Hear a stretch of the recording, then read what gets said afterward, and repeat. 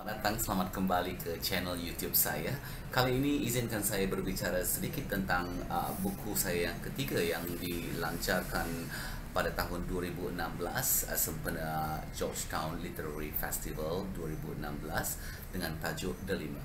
Ini antara buku fiksi ter, uh, yang tulisan hasil tulisan saya yang kurang mendapat sambutan. Okay? kurang mendapat sambutan atas sebab-sebab yang saya sendiri tidak tahu. Tetapi untuk pengetahuan anda, Delima yang bermuka surat sebanyak 298 uh, muka surat adalah mengenai uh, female empowerment ataupun pemerkasaan perempuan. Buku ini uh, bermula dengan uh, kisah uh, Karim ataupun Ruby Abdul Karim yang telah uh, menempa nama di Indonesia. Jadi bahasanya tentulah bercampur uh, bercampur baur sedikit Indonesia dan sedikit uh, bahasa Malaysia di dalam beberapa perenggan sahaja, bukan keseluruhannya ya. Uh, buku ini juga uh, memaparkan uh, bagaimana kehidupan di beberapa lokasi seperti Baling, Kuala Lumpur pada tahun uh, 80-an, Indonesia di tahun uh, hujung 80-an uh, membawa Ruby Karim mengenang uh, kisahnya sewaktu bertumbus lumus menjadi bintang. Ini adalah buku garapan uh, dari pengalaman pribadi, pengalaman pribadi yang diolah menjadi fiction diolah menjadi fiction uh, kerana saya sendiri mempunyai pengalaman pentas selama lebih kurang 20 tahun ya. Uh, kita lihat uh, klip yang akan dipaparkan sebentar lagi.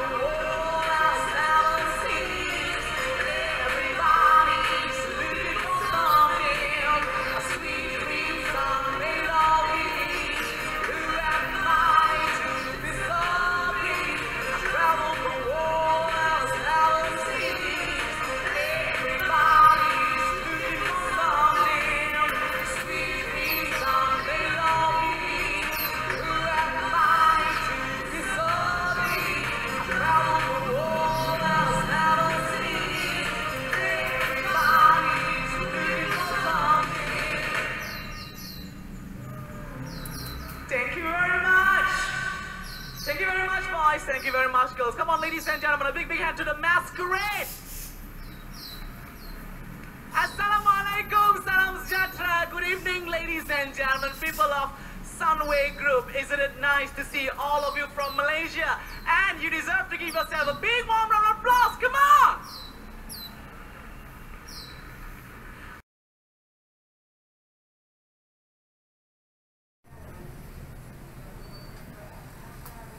Jadi begitulah lebih kurang uh, cuplikan yang telah anda lihat tadi kehidupan yang sangat bergemelapan, glamour dan uh, menyeronokkan kalau dipikirkan kembali. Tetapi uh, buku Delima bercerita mengenai tabir tabir uh, tabir belakang bagaimana mereka berlima kumpulan tiara bergerak bergerak sebagai uh, pelantun suara uh, artis rakaman, artis pentas dan syarat-syarat yang ketat dan pelbagai lagi kerana yang harus mereka hadapi. Okay. Saya bacakan sedikit cuplikan untuk anda. Kembali kita bersama bintang besar Asia, Ruby Karim.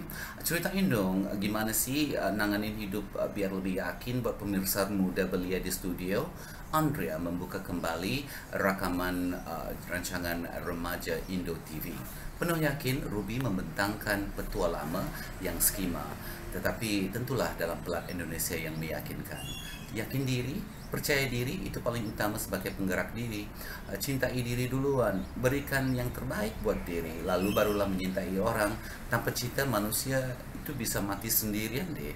Percaya pada susunan Tuhan sambil kerja keras. Gimana sih mau dibilang redo dalam bahasa Indonesia? Tanya Ruby pada Andrea. Hmm, being open to my consequences? to any consequences? Hmm, jawab Andrea spontan. Jadi itu kan Inggris. Nak Andrea terbuka buat segalanya, segala kemungkinan. Itu kan lebih tepat Ruby berjenaka dan terus menyambung hujahnya. Begitulah lebih kurang cuplikan uh, gabungan antara bahasa Indonesia dan bahasa Malaysia dalam buku The Lima. Right? Dalam The Lima bukan saja anda dibenarkan uh, untuk melayari kisah kehidupan lima ahli kumpulan tiara yakni Tina, Intan, Aina, Ruby dan seorang lagi ya seorang lagi dari mereka saya kurang ingat tetapi uh, ada juga watak-watak yang lain yang menemani uh, mereka ini iaitu seperti Rahimah, Kak Nur, Mak Dah dan ahli keluarga yang berada di Baling sewaktu Ruby ke sana untuk melahirkan anak luar nikah dan kisahnya berlanjutan dari situ sehinggalah membawa Ruby ke audisi yang bertempat di Hotel Merlin. Okay. Selanjutnya harus dicari dalam buku delima yang masih lagi dijual oleh uh, syarikat fiksi, syarikat penerbitan fiksi.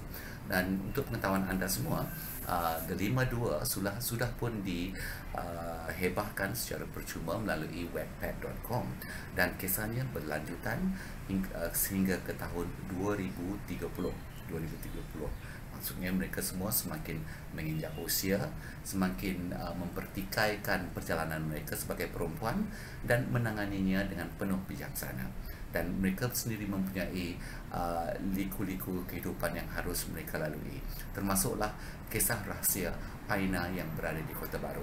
Jika anda ingin mengetahui apakah rahsia tersebut, sila layari wattpad.com dan cari The Lima Dua. So lebih lebih kurang beginilah uh, isi kandung cerita The Lima Dua yang sangat realistik. Juga membincangkan kisah-kisah bagaimana mereka menamatkan kerjaya berhajat menamatkan kerjaya dengan cara yang gemilang seperti bagaimana seperti mana mereka memulakan kerjaya mereka dalam The Lima Satu. Jadi saya ingin menganggap ada lima sebagai hasil karya saya yang agak self-indulgence, okay? Self-indulgence kerana di sini saya bercerita tentang dunia muzik, bagaimana menjadi vokalis yang baik, bagaimanakah disiplin itu harus diterapkan pada setiap uh, seorang penghibur yang mahu uh, kelihatan hebat di pentas? Ini semua digarap juga melalui kisah-kisah yang pernah terjadi di Malaysia pada kumpulan-kumpulan uh, wanita girls band ya. Jadi self indulgence ini saya garap secara secara berpada-pada untuk tatapan kepada pembaca delima dan seperti seperti yang anda ketahui The 52 sudah dihebahkan di dalam uh, webpad.com jadi untuk mengetahuinya lebih lanjut kita akan berbicara tentang dunia muzik yang berada di tahun 90-an dan awal tahun 2000-an dapatkan The 5